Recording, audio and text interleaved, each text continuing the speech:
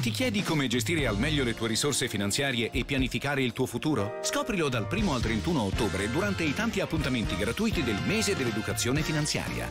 Eventi, seminari, lezioni in spettacolo e dibattiti ai quali partecipare anche online da casa tua. Si parlerà in modo semplice e rigoroso di scelte finanziarie, assicurative e previdenziali ai tempi del coronavirus.